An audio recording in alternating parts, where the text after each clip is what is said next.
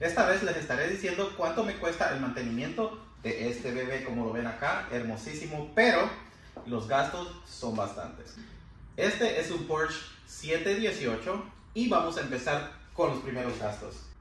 Las llantas, si las compro individual, me cuestan más de 700 dólares cada una.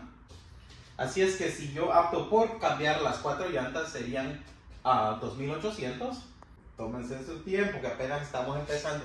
Esos son solo las llantas. Los frenos delanteros me cuestan 1200. Esto es solo los frenos de enfrente.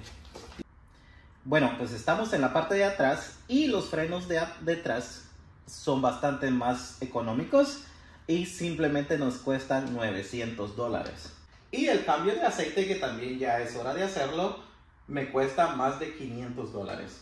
El seguro está entre los 400 a 500 dólares y es de tomar en cuenta que este auto no se puede manejar durante el, el invierno. Y yo me encuentro en el estado de Connecticut, la cual en el estado de Connecticut hay que pagar taxes por los bienes personales. En esta ocasión sería este auto. Y el tax, los taxes en este auto el año pasado fueron a más de mil dólares. Entonces al año estamos pagando un poquito más de 7 mil dólares. Entonces, entre llantas, frenos, cambio de aceite, seguro y taxes, estamos pagando más de 7 mil dólares al año. Antes de comprar yo este auto, desconocía todos estos gastos. Obviamente, si uno va a comprar un auto de esta categoría, uno ya sabe que va a costar bastante dinero.